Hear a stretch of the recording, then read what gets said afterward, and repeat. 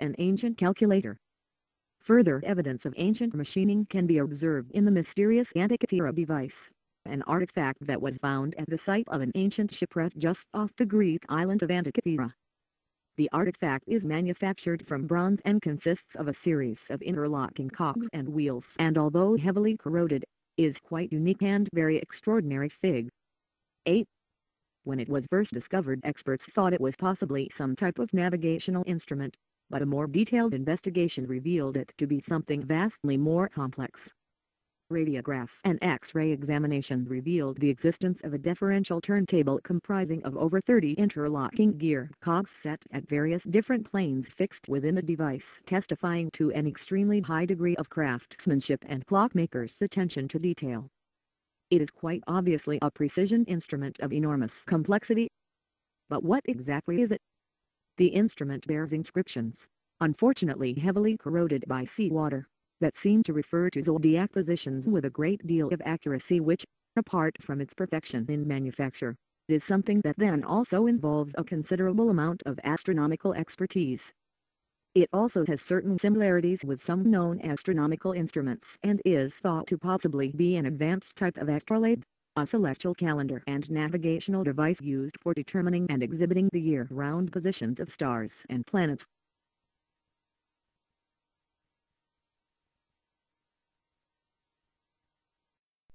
Adding even further to the puzzle, the wreck, from which the device was salvaged, dates back to nearly 100 BC and it has been previously thought that such refined craftsmanship was completely unknown until the mid-16th century.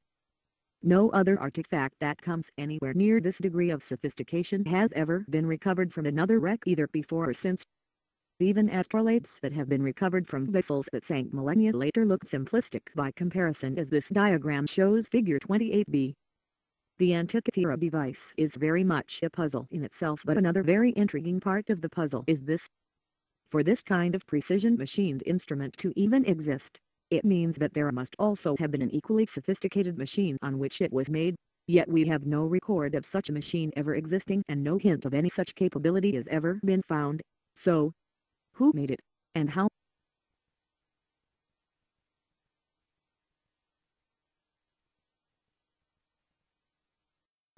Baalbek still many other, even more wondrous things were achieved in times long past. In eastern Lebanon lies a city called Baalbek that can truly lay claim to some of the most spectacular ruins on earth.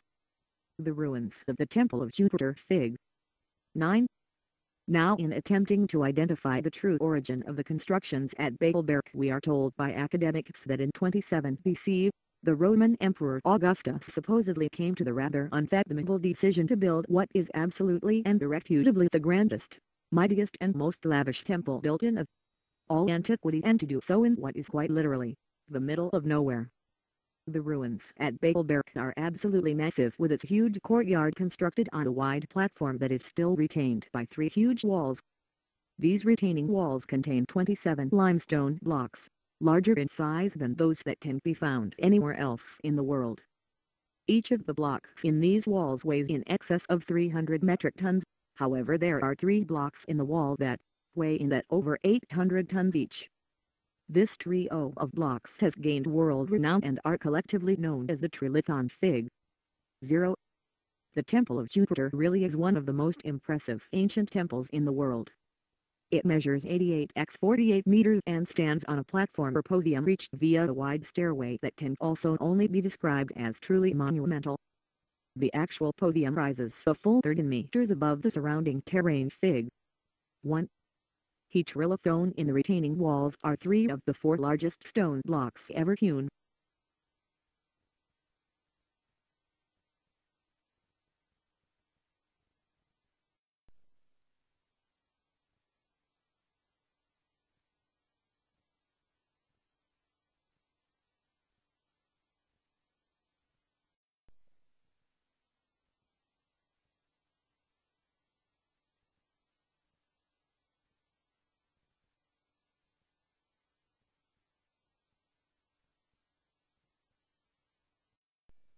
Now if we really think about all this and consider events within the officially accepted academic framework that we are given of history, the site chosen for the Temple of Jupiter makes no real sense at all and we can find no apparent or obvious rhyme or reasons Augustus may have had for selecting the site at Baalbek for such an elaborate temple. In Roman times, Baalbek was apparently just a small city on a trading route to Damascus. It held no special religious or cultural significance for Rome, other than being in the center of a coveted burial region that was favored by local tribes. It also seems completely out of character for the undeniably selfish Rome to have gone to all the trouble of creating such lavish and extravagant architecture in Lebanon, and at a place like Baalbek that is located so far from Rome. The Romans were, after all, an enormously and undeniably greedy empire and were in the very process of stealing historic treasures from other countries, such as the obelisks from Egypt at the very same time the Temple of Jupiter was under construction. It makes much more sense to surmise that Baalbek may have had something else the Romans wanted from the site. Possibly something no other place, not even Rome, could offer them.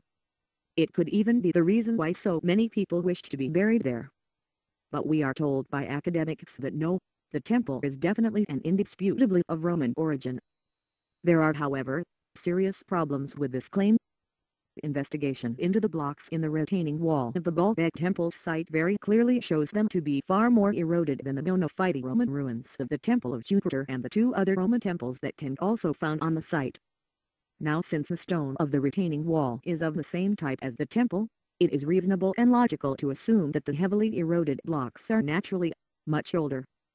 It is then also logical to surmise that the Roman temple was in fact an augmentation to a much older pre-existing platform and these of course would also help to explain why on earth such a remote site was chosen for the temple, because it offered Augustus a ready-made, pre-existing platform on which to construct it. The issue really is quite simple and straightforward and it's difficult to understand why the idea that construction of the platform and retaining wall could have taken place earlier than the temple is scoffed at by the mainstream archaeological community. The substantial amount of erosion visible on the large blocks of the retaining wall quite adequately qualifies as material proof of their far greater age than the actual ruins of the Temple of Jupiter. It's reasonably apparent that if quite substantial geological evidence significantly opposes the theory then the theory is obviously incorrect.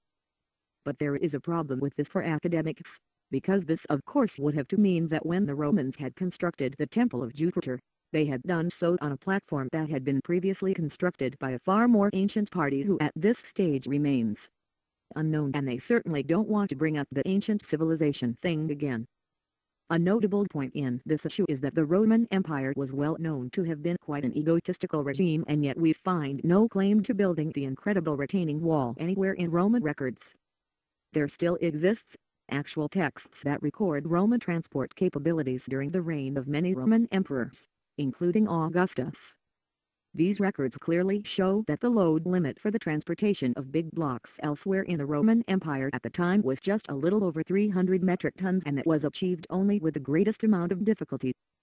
The highly celebrated transportation of the 323-ton Laterano obelisk to Rome, for example, was an enormously difficult and dangerous task that spanned the reign of three emperors and yet we find that transportation of the massive 800-ton blocks at Baalbek for the Temple of Jupiter is not mentioned in Roman records anywhere at all. This fact also raises immediate questions.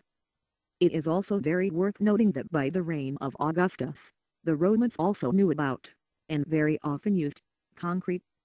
The Colosseum still standing in Rome today is a good example of a classic Roman concrete structure. It has simply never been in Roman style to build with megalithic blocks. In fact such megalithic architecture appears nowhere else at all in the entire Roman Empire. It is also significant that Ptolemies conferred the title of Heliopolis upon Baalbek. For him to have given the place that particular title, it stands to reason that Baalbek had to have been an ancient holy place and must have already had some notable architecture or some significant connection to the other Heliopolis sun city also part of Ptolemy's domain in Egypt. And there's still the further clue. In 636 AD the Temple of Jupiter was taken over by the Arabs who turned it into a fortress, also doing some further construction of their own. This means that the blocks used in the Arab sections of Baalbek were laid about 650 years after the blocks of the Roman temple. So consider this conundrum.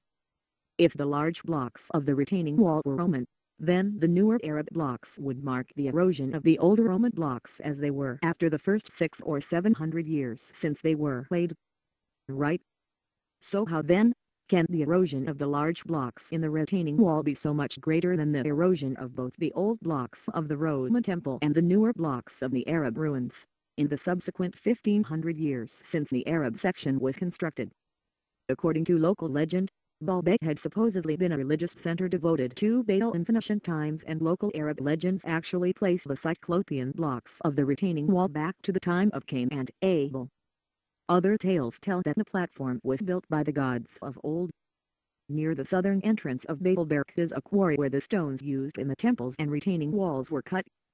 No traces of any ancient road can be found between the quarry and the temple which also raises questions on how the enormous 800-ton quarried monoliths were ever even transported to the site. This lack of any road can only mean either one of two things. Either the blocks of the retaining wall were transported so far back in antiquity that all trace of the road has long since disappeared, or the road was never required for the task of transporting them. In fact the road would have been of little use anyway due to the sheer weight of the blocks. The foundations of any road strong enough to be used for such a task would have to have been truly immense and if such a road had ever existed some trace of it would undoubtedly still remain today. So how were they moved? Another huge stone block known as the Stone of the Pregnant Woman figure 32 still now lies in the ancient quarry where it was cut in iniquity. It measures 21.5 mx 4.8 mx 4.2 meters in size, weighs an estimated 1,000 tons and is the largest hewn stone to be found anywhere in the world. There is no contractor or crane in the world that is capable of moving these hewn blocks from the quarry to the temple site. Such a task is still well beyond any of our current transportation capabilities. In fact I will quite happily donate the entire proceeds from the sale of this book to anyone who can move this stone from the quarry to the Baalbek temple podium.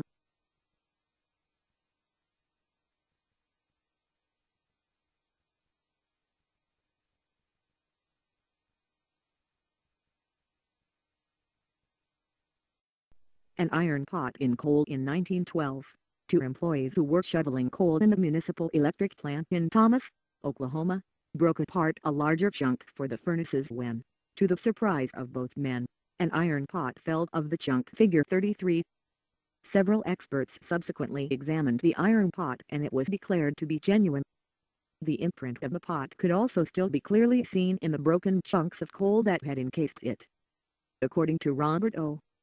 Fay of the Oklahoma Geological Survey, the Wilburton mine coal in which the pot was found is about 312 million years old.